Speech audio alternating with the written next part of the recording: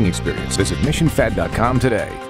We hear them say breakfast so many times and we're all like, yes, please. Yeah. That sounds terrific. Where do we go? Yeah. Yeah. when I hear breakfast and coffee, my ears kind of perk up. Like the horse when the horse's ears Exactly. go forward when Mhm. they're interested. Yeah, and you know what? Today, this morning, might not be a bad day for a hot coffee because it is cooler to start you off. This is a new camera here in Oceanside. Definitely overcast there on this early Sunday morning. 8:40 in the morning. Good morning to you. We are dealing with some patchy fog, but we will see some sunshine later on, especially in our inland valleys along our coastline. It will be a mix of sun and clouds. Now we are watching our rain chances here. So for our evening hours, about a 10% chance of rain, but then over the next few days, we increase that to 20% here. So Monday and Tuesday, and then coming into our next weekend, that chance of rain increases. So that's something we're going to continue to watch here throughout the next several days. Let you know if that changes. Today, our temperatures right now, we are at 59 in Julian. Ramona, you are seeing 51 degrees. Carlsbad 62 in the South Bay. IB at 65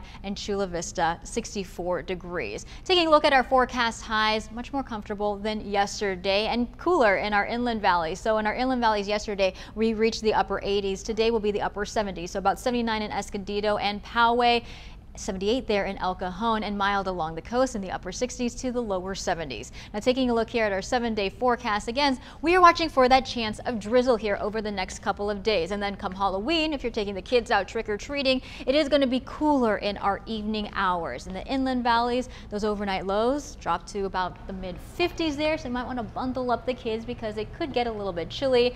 We're going to hit the lower 70s by midweek in our inland valleys and then the mountains, upper 70s today. The desert still hot in the 90s. Of course, you get your workout, going from house to house, trying to get all the candy you can get. Yeah, but then you know, then you eat the candy, then that kind of negates the workout. And But then then you have the crash. It's a delicate balance for I'll, sure. I'll take the risk. I have a sweet Right. tooth. I'm with you. All right. Well,